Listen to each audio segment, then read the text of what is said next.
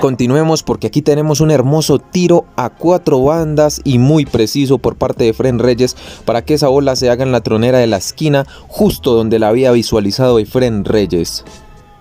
el mago.